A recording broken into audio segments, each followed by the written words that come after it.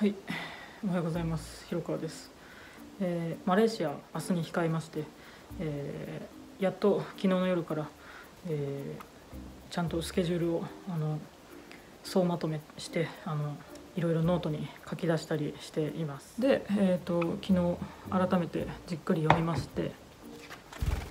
とりあえず私がその初日最初の日、えー一日どういうタイムスケジュールで行くのかというのを紙に書き起こさないとちょっとどうしても不安だったので紙に書き起こしました。で出発する日はとりあえず帯広駅から、えー新千歳空港までバスで行きます。これはもう予約してあります。で新千歳空港に着いたらグローバル w i f i というポケット w i f i があるのでそれを、えー、とロッカーから、えー、と出して借ります。で、えー新千歳空港からエアアジアに飛行機に乗ってまずバンコクに行きます。タイですね。でバンコク経由で乗り継ぎしてクアラルンプールに行きます。それまでが用時間がなんと10時間。新千歳からクアラルンプールまで10時間かかります。で空港に着いたらまず両替なんですけど、えーと今回は両替ではなくてクレジットカードでキャッシングをしようと思います。えその方が手数料がかからないみたいであと ATM でできるみたいなんで今回はそれをやってみようと思います。でどれぐらいどれぐらいとりあえず現金持っとけばいいのか分かんなくてとりあえずここに1500リンギットって書いてあるけどこれも未定です。で、えークアラルンプール空港から、えー、と電車に乗って、えーそのコンドミニアムまで行こうと思うんですけど、えーそのコンドミニアムの、えー、と最寄り駅セプテ駅、えーまで行くのに一回乗り換えないといけないみたいでバンダルタセクスラタンっていうところですね。バンダルタラデツラタのとこに行ってで線を変えて KTM コミューターっていうので、えーこのセプテに行きます。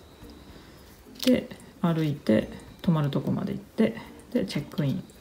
してこの日は終わります。でちょっと詳しく分かってないんですけどおそらく私以外にもそこに泊まるゲストさんがいてでホストさんもいると思うんですよね。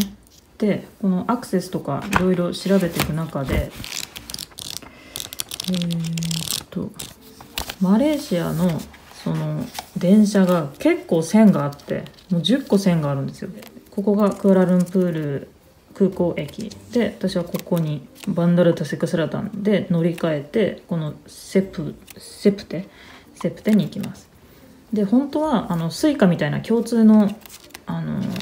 カードを買ってから行きたかったんだけどそれが手に入るところがすごく限られてて、えー、とそれが買えるのが KL セントラル駅があの一番いいみたいで。でもこれ見て分かる分かってもらう通りここまで行かないんですよね。本当クアラルンプールでその交通 IC カード買えればいいんですけど買えるのかな？ちょっと分かんなくて。とりあえず初日泊まるとこまで行くのは普通にあの日本日本でいうとこの切符このコインを買ってここまで行きたいと思います。YouTube の動画とかで、えー見たところこの券売機があるんですけどよくあるみたいなんですけどこのここ自分の行きたい駅名をピッピッて押してってお札が使えないっていうお札がバッテンになってる券売機もあるらしくて多分お釣りがないのかわからないんですけどそしたら他のお札が使える台に変えてあの買うみたいなんですけどもしかしたら全部お札使えないっていうことも万が一あると思うので空港に着いて、えークレジットカードでキャッシングした後に、えーすぐに小銭は作りたいなと思ってるんですけどもなかなかねあのクアラルンプール空港に着くのが8時10分。でこっから電車だりのなんだり結構こっからここまで距離あるんですよ。このこの図で見ると近い感じに見えるけど結構遠くて。だからここに着くの遅く見積も見積もっても11時ぐらいかなと思ってるんですけどとりあえず本当当日この泊まるとこに行ってみないとどどういうシステムなのかどういう感じなのかが分かってないのでで私ここにいろいろ書いてあるんですけどもごちゃごちゃあって。私が毎回海外行く時に不安なのがあの出国審査入国審査とあと出国カード入国カードをあの書くのがすごく不安であの聞かれてる質問がまず分かんないみたいなカカード見てもその人に聞かれても分かんないってなってポカーンってなっちゃったりするのでもう紙に書いとこうと思って書き起こしました汚いんですけどで入国審査で大体聞かれるのは「職業は何?」とかあと「何しに来たの?」とかそういう感じで、ま、マレーシアのあの入国審査のところは本当にあの携帯いじってたりあのみんなで話してたりするらしいのであの自分がネットで調べたところそんなにがっつり質問してこないかもしれないんですけど一応予習しといて損はないと思ったので書き起こしました海外旅行自体久々でで英語も全然喋れないので本当予習予習大事ですあなたの職業何ですかっていうのが確か英語で What's your occupation? こう予習してなかったらえオキュペーションって何ってなってたと思うんですけど私は最初 I do not have a job とか、あ、No job とか言おうと思ってたんですけど無職なのに海外で遊ぶっていうのはやっぱりあの就労目的で来てるんじゃないかというふうに怪しまれてしまう可能性があるのでそこはスマートに行くにはあのあパートタイムウォーカーとか怪しまれないためにもパートタイムで働いてるよとかいうのがスマートみたいですね。はい、で実際私ロンドンに旅行行った時にその時も無職だったんですよ。で職業聞かれてなんかテンパりながら「無職です」っていうのをあの予習してなかったんでテンパりながらこう説明してでそうそれもあって今すごい予習してるんですけど今回はスマートに行きたいので、えー、こういう感じでやっていきたいと思います。あと自分が滞在する施設の名前とかあと滞在するところの住所とか電話番号とかも、えーと、書く必要があるのでそれももうあらかじめこのノートに書いておきましたこのノートがなくなったら私はもう死亡です。というわけでマレーシア行く前日の、えー、ぐちゃぐちゃのノートだよっていう感じでした。はい、えー、コンタクトレンズを買ってきました。シード。ワンデイピュア潤いプラス。32枚入り。コンタクトレンズ前に使ってたことあるんですけどそれも確か海外旅行に行くきっかけで作ってでやっぱりなんとなくやめちゃったんですけど私いつも眼鏡をつけたり外したりしてて結構眼鏡をつけてるっていうことが自分の中でプチストレスだったのかな。なんか海外行くってなったら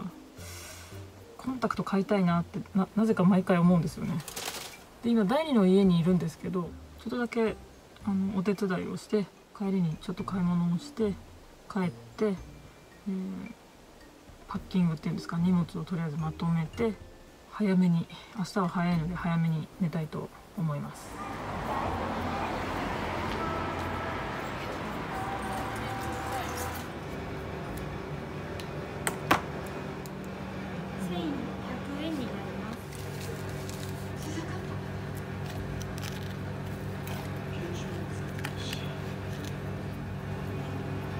ここでやるの危ない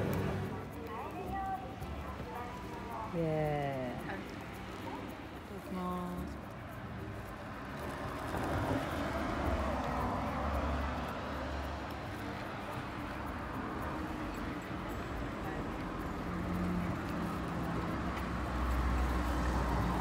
ただきますほんとここのは衣が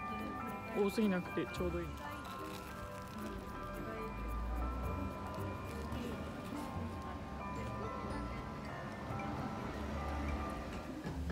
はい、えー、今お風呂から上がりました。これからパッキングをしてそれで終わったら寝ようと思います。で最後まで迷ったんですけど、えーと、リュック。リュックを普段出かけるのに使ってる。普通のリュックにしようと思ったんですけど多分そしたらお土産を持って帰れないなと思ったのでやはりこちらのバックパックにしようと思います。着替えは T シャツ3枚。で下のやつを2枚。であと下着とか携帯2台。あと三脚。あと大事なノート。あとアイマスクと首の膨らむやつといろいろとりあえず忘れて取りに帰れる距離じゃないしもしかしたら向こうで新しく買うこともできないものもあると思うのでしっかりとパッキングして今日は早めに寝たいと思います。目標は、えーと、8時に寝ることです。では頑張ってパッキングしたいと思います。おやすみなさい